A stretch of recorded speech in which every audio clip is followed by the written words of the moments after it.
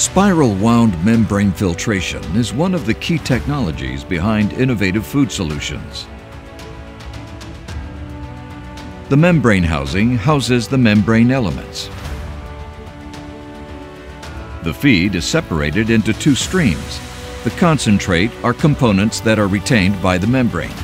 The permeate are the remaining components that pass through the membrane. The feed needs to be liquid. The liquid will be separated at a molecular level.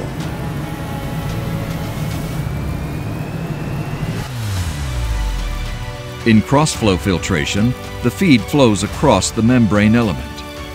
Feed spacers distribute the feed across the membrane leaves. The feed spacers help to promote turbulence to keep each membrane leaf from fouling and in this way ensure high performance. The size of the membrane pores determine which molecules are retained by the membrane and which are passing through. In other words, the size of the pores determines the product to be made. The concentrate with the bigger molecules flows on the membrane surface. The part of the feed that passes through the membrane surface is now called the permeate.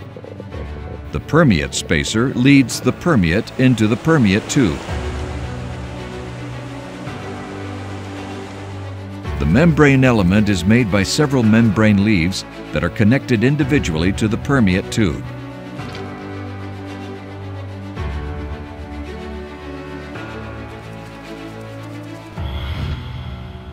Please visit tetrapak.com to learn more basics of membrane filtration.